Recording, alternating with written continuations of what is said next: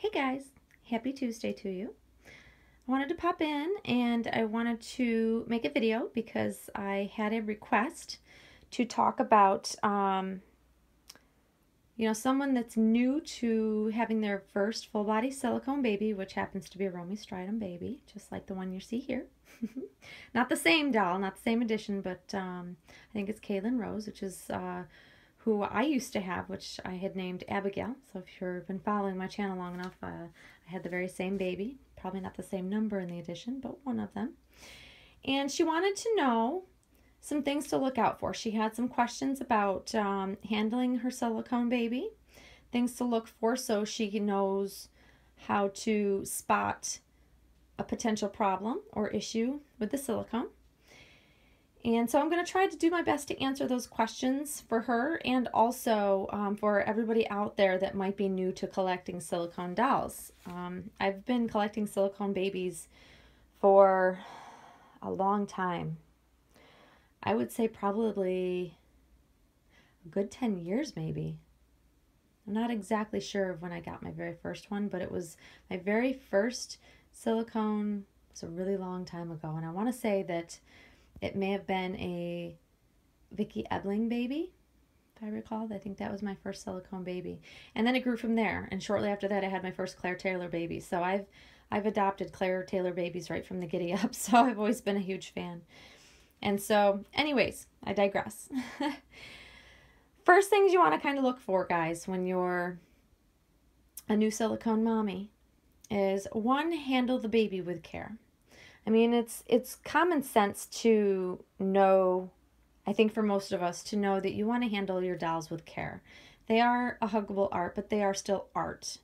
And um, even the most sturdy, well-made doll, if handled improperly, you can damage them and ruin them. So that's kind of the number one key is is handle the baby like you would a real newborn baby, and that's a really good general rule of thumb to follow. I think most artists actually send home care instructions stating the same thing because you don't want to tug hard on their limbs. You don't want to tug on their fingers and toes. They're not meant to do that. You can tear the silicone and damage it if you tug a little too hard.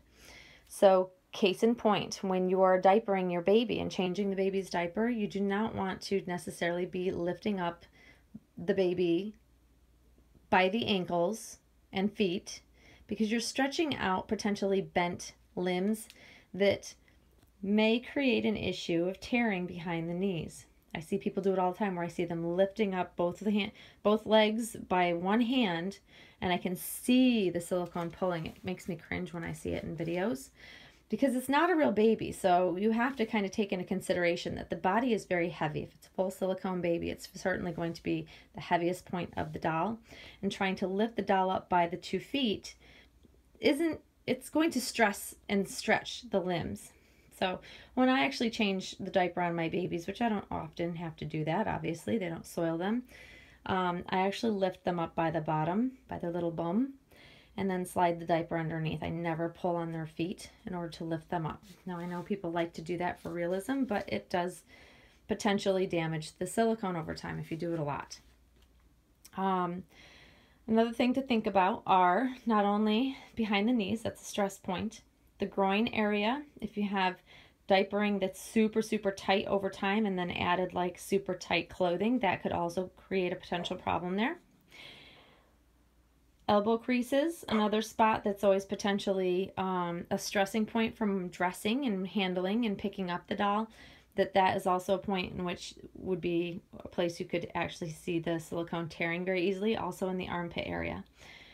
Those are going to be your main points of super amount of stress when we handle our dolls and when we're changing them that that's the biggest common places that you're going to find an issue with the silicone. Not always but that's a common place you know i mean any dolls that i've ever had silicone tearing on it's usually in those places. Um, another place if it's not a jointed neck then and it's poured in one piece the neck is also becomes a very stressed point because the head is so heavy and it's constantly pulling at the neck from side to side, front to back.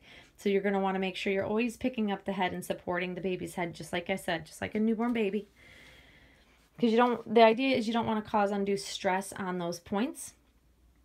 because that's where you're going to run into a potential problem over time. It may not happen the first couple of times you do it, but over time, it may wear out the silicone and you might find it starting to tear. And it also depends on what artist you're buying from, what grade silicone are they using when they make these babies.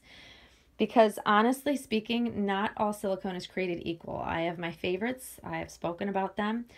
But if it's a cheaper made doll with a silicone that has additives in it, it will potentially split and tear much quicker and easier with less handling. So it's something you may want to do your research on before buying.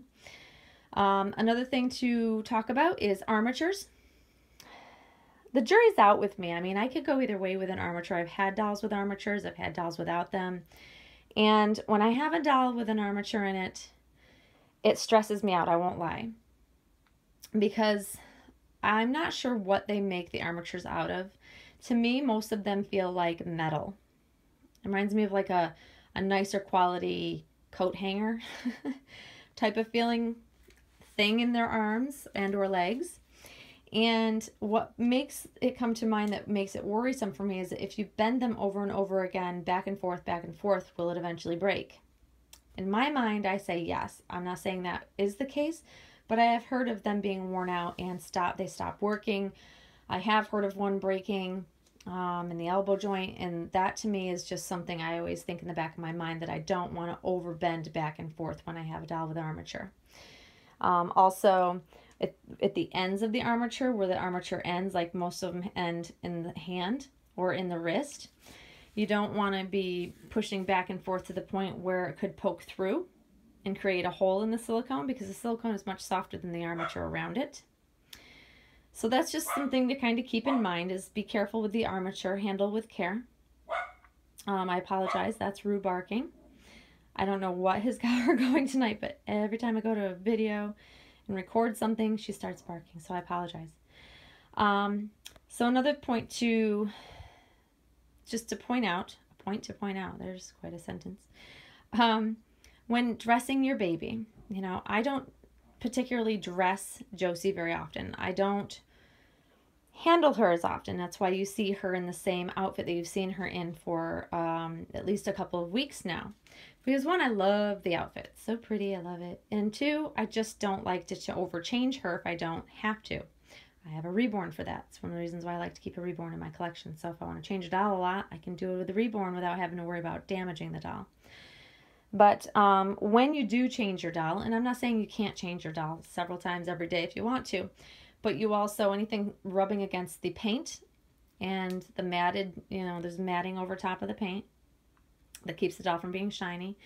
Anytime you're taking on, rubbing on, and rubbing off, because that's what's happening when you're pulling clothes on and off the doll, you're potentially rubbing off potential paint and of course the matting, because dolls, when they're handled a lot, um, they get shiny spots. And even brand new, they come with shiny spots because there's just no perfectly, I don't think I've ever had a doll that didn't have at least a couple little shiny spots, brand new right from the artist. But when you start seeing the doll lose all of its matting, it's from overhandling and changing and or bathing. I don't believe in bathing your dolls.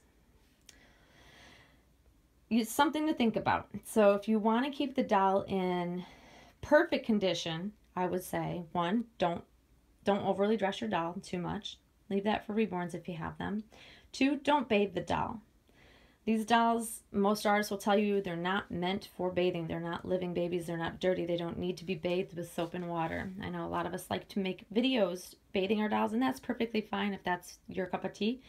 But just know that if you are bathing your doll, you may potentially be taking off the matting and or the paint over time something just to keep in mind, guys. Like I said, to each their own. Everybody enjoys their dolls in a different way. This is, I'm telling you what I don't do with my dolls and how I preserve them and try not to have anything happen to them. Um, now, when dressing your baby, I always cover my doll's hands with mitts. I always have. It's something that I learned early on. It made it easier to dress a silicone baby. Also, you don't run the risk of splitting and pulling and bending backwards the fingers and same with the toes. Be careful when you're putting their toes into little shoes. I always put little, even tiny little socks on, even if I'm putting on shoes like the little moccasins, I put on a little pair of ankle socks underneath because I'm so afraid of bending back a toe and not realizing it because I can't see inside the shoe. So just kind of common sense things, guys. Things that seem like you would not want to do because it may damage the doll, don't do. That's how I kind of, that's what I go by. Um, carrying with the hair. So we all know that with silicone babies, their hair is not um, glued inside, it's rooted. Some dolls are rooted deeper than others and lose more hair than others. I generally don't handle the hair a whole lot either, guys. I try to comb it as little as possible. Um, Josie's got beautiful hair. It stays put. I don't have to really, I just kind of pat it back down after I even had a hat on her not that long ago.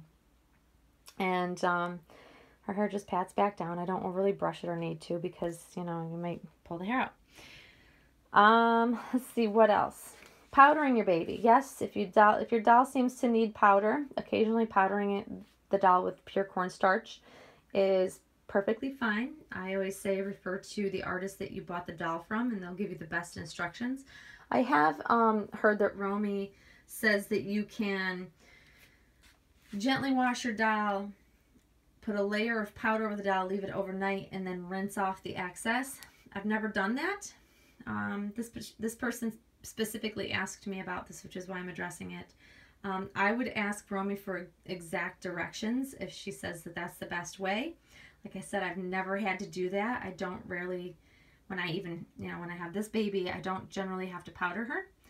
Her silicone is very smooth. She's not shiny or sticky. When I had my previous Romie baby, I never really had to powder her either. So I think it's kind of a judgment call if you feel like the doll needs powdering um, and you want to try Romie's way, you can certainly get in touch with her. I'm sure she would walk you through that, but a gentle powdering with cornstarch should be fine. Um, but like I said, uh, I always tell people refer back to the artist if you have, you know, if you want to be exact to what the artist would like you to do when you're powdering them, then do it that way.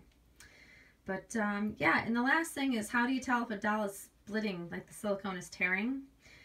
You'll be able to tell. It's very obvious um, because it's very uneven where it starts to pull away from itself. And, you know, it's unpainted. So it's not going to look like the regular rest of the doll's skin. So that's something to kind of look for in the creases every time I change Josie and or any silicone doll I have at that time. I am always inspecting her. So I always take the time when I'm changing my dolls to inspect them, look at their creases, make sure I haven't done any damage to them, look in between their fingers and toes, all the places that could be stress points where it could catch and pull the silicone where it could tear. I do that every single time I change the doll. I'm always very aware of what condition my dolls are in at all times because I'm a little probably OCD about it. So, but other than that, enjoy your baby. Congratulations to anybody that's, you know, new to the silicone doll collecting world and to those that are getting new babies and already silicone mommies. Congratulations to you too. Um, so yeah, enjoy your baby, but just use common sense and to be very gentle and you should get lots of years of enjoyment out of them. Um, they're made very well. Majority of them are very well made and you can enjoy them, you can handle them and give them love and attention without doing them any damage. Um, and they'll last a long, long time. So that's my two cents on things to look out for when you're new to silicone adoptions. if you have any questions, guys, or comments, feel free to post them below. I'm happy to answer the questions that you might have. And I might be back to do a tag video shortly. So Hope everybody's having a great start to their work week, and we will see you all soon, guys. Thanks for watching. Bye-bye.